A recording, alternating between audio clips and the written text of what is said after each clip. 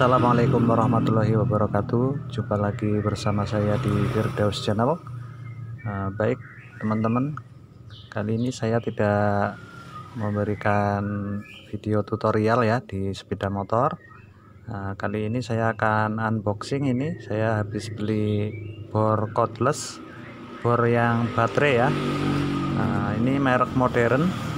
Saya beli di Shopee baru saja datang barangnya saya dapat harga 300.000 ini.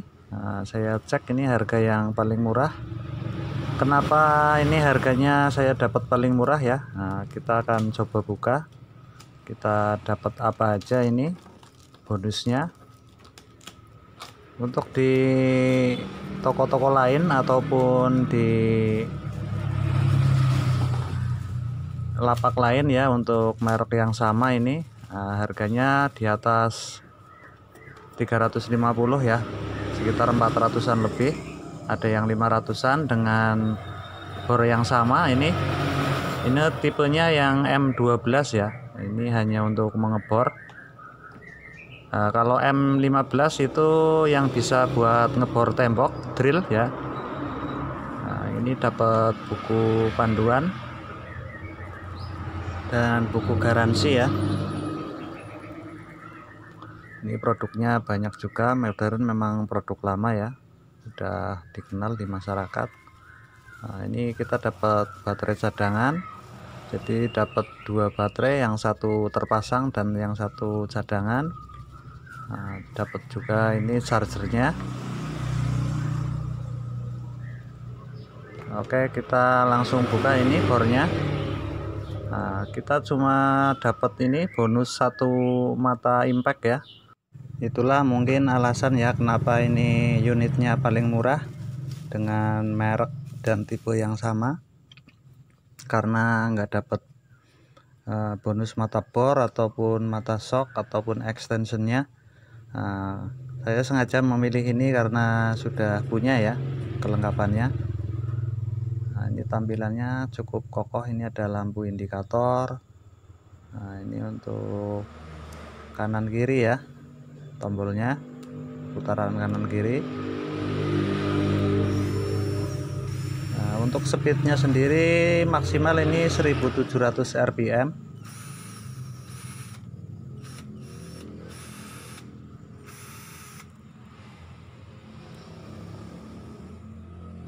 ini cat baterai ya jadi dua biji yang satu terpasang dan yang satu cadangan nah, untuk melepasnya kita tekan seperti ini ya cenilannya kita tarik keluar. Nah seperti ini. Kalau kita mau ngecas nah, kita masukkan tinggal kita selipkan saja. Ini enggak akan kebalik ya.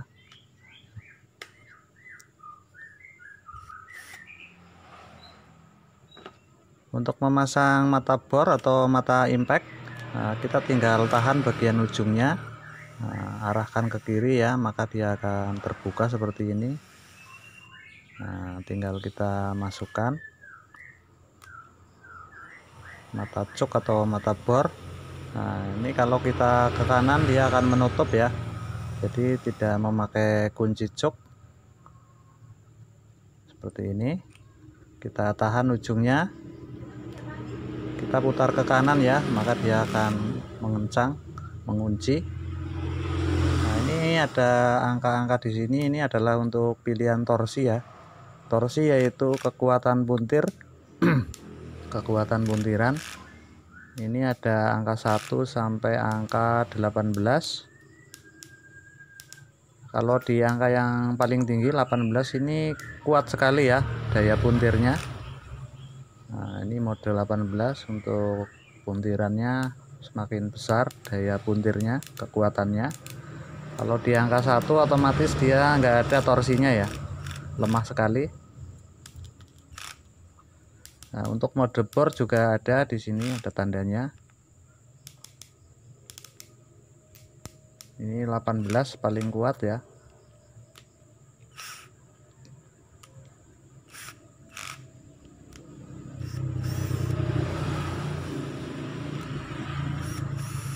Ini untuk mode bor kita tinggal luruskan seperti ini. Nah, untuk pengeboran ini. Jadi torsinya otomatis paling tinggi ya kalau di posisi bor.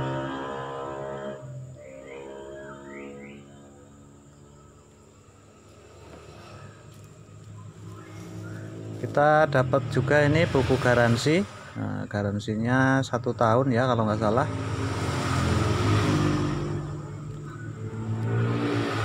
ini ada manual booknya. Bahasa Indonesia ya karena ini produk lokal mungkin. Nah ini chargernya. Untuk mengecas kita tinggal colok ke bagian lubang di bagian sini ini ada lubangnya. Nah, untuk mengecas ya. Tinggal kita colokan ya kita colokan ke listrik ini ada indi lampu indikatornya juga. Ini untuk speed ya.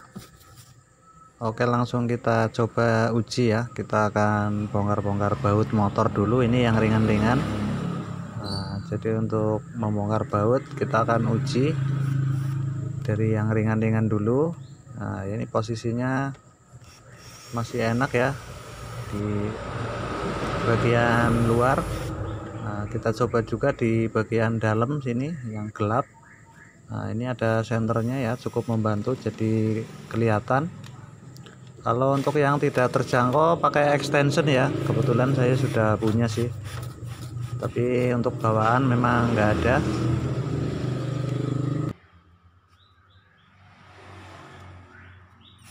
Nah kita akan uji ke bagian sini yang bautnya agak gede ya lebih keras biasanya di sini. Kita posisikan di torsi 18 ya yang paling kenceng. Wah ini kuat juga ini ya sampai tangan saya sampai ikut melintir ini. Torsinya momen puntirnya cukup kuat. Jadi sangat rekomen sekali ini pakai bor ini untuk ketahanan baterai saya belum tahu ya mungkin sampai berapa jam atau berapa hari. Yang jelas saya yakin lah kalau untuk pemakaian yang ringan-ringan ini akan awet. Nah ini merek modern sudah dikenal ya. Udah banyak yang pakai. Merek kelas menengah lah untuk saya ya. Ini sebenarnya saya juga udah punya yang kecil tapi ini kan kecil ya powernya kurang dan kurang kurang tahan lama ini baterainya. Tapi lumayan juga buat punya-punya ya. Jadi untuk membantu kerja yang ringan-ringan. Kalau pas lagi capek kadang pegel ya males buka-buka bodi Oke kita akan coba bor ke kayu ini kayu Kalimantan ini cukup keras. Kita akan pasang sekrup ya. Kita akan pasang sekrup. Nah ini saya yakin ke baja ringan juga kuat ya. Jadi tidak usah bawa-bawa kabel. Ini torsinya cukup kencang juga ini. Daya putarnya daya pelintirnya ya. Momen puntirnya kita nanti akan coba juga untuk ngebor besi ya. Yang kita pasang dulu ini bor besinya. Kita copot dulu. Nah ini pemasangannya juga mudah ya nggak perlu pakai kunci. Nah tinggal kita putar mode kanan kiri kita tahan ujungnya seperti ini. Nah maka dia akan mengunci sendiri kita tahan ya posisikan di torsi yang paling tinggi ya untuk memasang biar kencang. Nah kita coba ya ini 2 cm paling ini.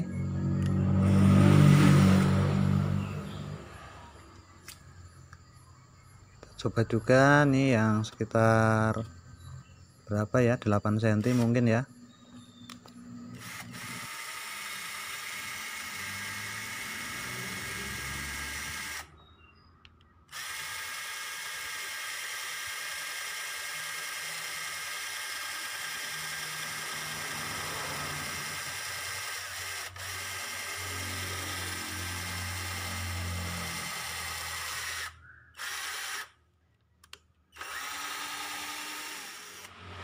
lumayan sekali ya ini cukup membantu lah untuk pekerjaan-pekerjaan ringan dan pekerjaan semi berat ya.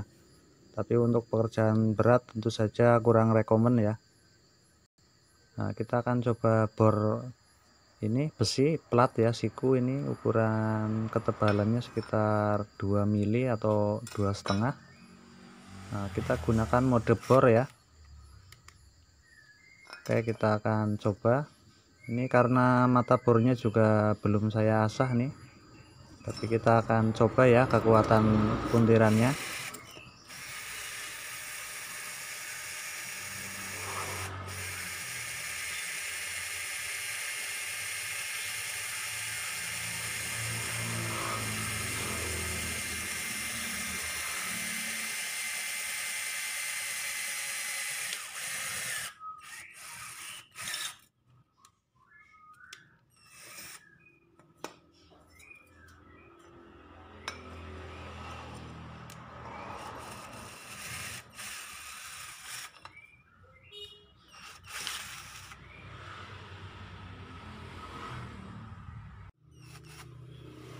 mantap juga ya untuk pengeboran besi.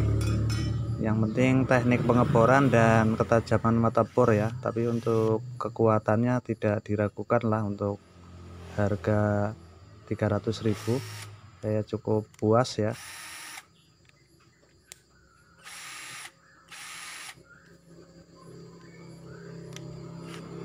Oke terima kasih yang sudah menyimak jangan lupa di share di like dan di komen ya.